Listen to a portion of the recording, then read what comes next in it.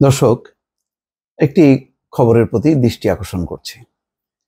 সেটা হচ্ছে, ভারত, বাংলাদেশ দুই বিলিয়ন ঋণ আলোচনা কেন থেমে গেল?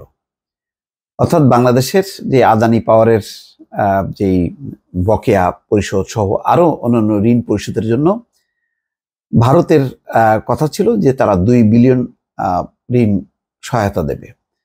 কিন্তু শেখ হাসিনার পতনের পর সেই আলোচনা হঠাৎ করে থেমে গেছে। এখন এটা নিয়ে আর কোনো অগ্রগতি নেই।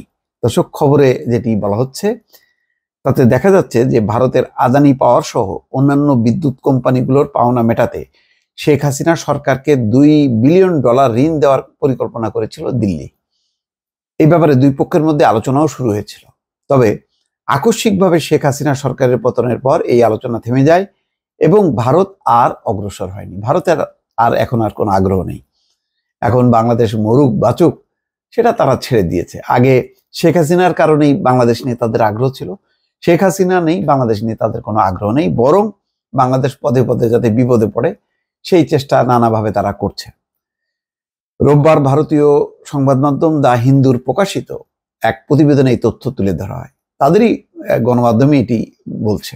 প্রতিবেদনে বলা হচ্ছে বাংলাদেশের ডক্টর মোহাম্মদ ইউনুসের নেতৃত্বাধীন অন্তর্বর্তী সরকার দায়িত্ব গ্রহণের পর থেকে এই ঋণের ব্যাপারে নতুন কোনো অগ্রগতি হয়নি। বিষয়টির সঙ্গে সংশ্লিষ্ট একটি সূত্র বলছে যে শেখ হাসিনা নেতৃত্বাধীন বাংলাদেশের বিগত সরকার ভারতীয় কোম্পানি প্রাথমিকভাবে আদানি পাওয়ারের বিদ্যুৎ খাতের বকেয়া মেটাতে ভারত সরকারের সঙ্গে ঋণ নিয়ে আলোচনা করছিল। এই ঋণ চুক্তির জন্য প্রায় দুই শতাংশ সুদ ভর্তুকিও ঠিক করা হয়েছিল।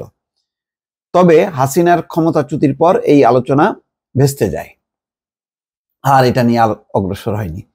প্রতিবেদনে বলা হচ্ছে, ছাত্র জনতার ব্যাপক বিক্ষোভের মুখে সাবেক প্রধানমন্ত্রী শেখ হাসিনা দেশ থেকে পালিয়ে যেতে বাধ্য হওয়ার পর গত আটই আগস্ট নোবেল শান্তি পুরস্কার বিজয়ী ডক্টর মোহাম্মদ ইউনুস সরকার গঠন করেন। ইউক্রেন যুদ্ধ শুরুর পর পণ্যের মূল্য বেড়ে যাওয়ার ফলে সৃষ্ট ডলার সংকটের কারণে বেশ কিছু দিন ধরেই বিদ্যুতের বকেয়া সহ আমদানি ব্যয় মেটাতে হিমশিম খাচ্ছে বাংলাদেশ।